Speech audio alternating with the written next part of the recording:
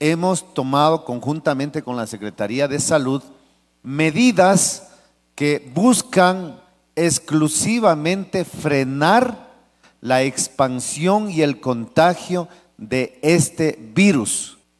En ese sentido, hemos desarrollado ya las medidas que ha tomado el municipio de Quito y que los vamos a transmitir a toda la ciudadanía.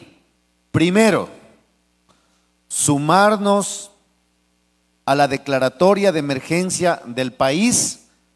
He tomado la decisión de sumarnos y declarar en emergencia sanitaria al Distrito Metropolitano de Quito.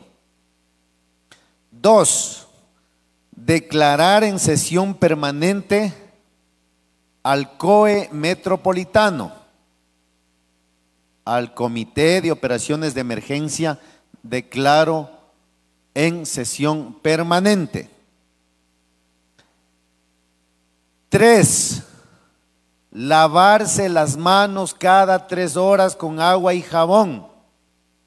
En caso de presentar alguna molestia, fiebre más de 38.5 grados, malestar general, tos seca, dificultad respiratoria, el Sistema de Salud Nacional ha habilitado un número que es el 171 para reportar.